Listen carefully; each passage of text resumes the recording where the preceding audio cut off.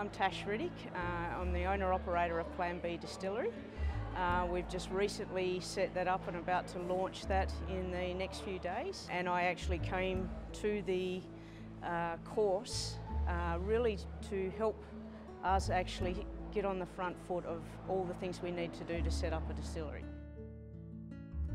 When you're starting a distillery, you, you probably underestimate the, the, sort of planning that needs to be done. So like the, uh, the costing sheets and the, the um, budgets and what have you have been really, really good, um, which is probably the, the best thing from my point of view. So it helps you to sort of really understand the cost that's going to be involved before you start spending all the money.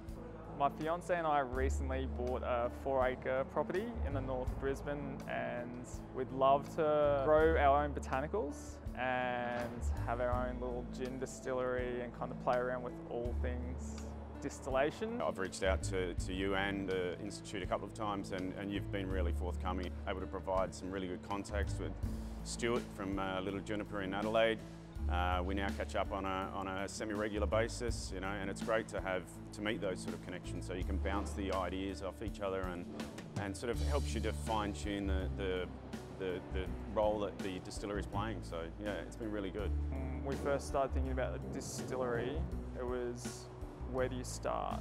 And it definitely gives you that framework to start, okay, this is what I need to look at and work along each little problem as it comes up. Networking, like meeting a few of the other people here today, awesome, yeah. The course for us was being able to pull together a business plan, having great guidance along pulling together that business plan. So not only does it set you up for success, it also sets you up for all the other things that you need to do to set up your distillery. In getting your licenses, uh, all those aspects, it actually supports smooth sailing in that space to get it done. Even the webinars, the people that you've had on to, to do those webinars has, has sort of helped you to, to really get your ideas solidified and, and, and, work out what you want to do.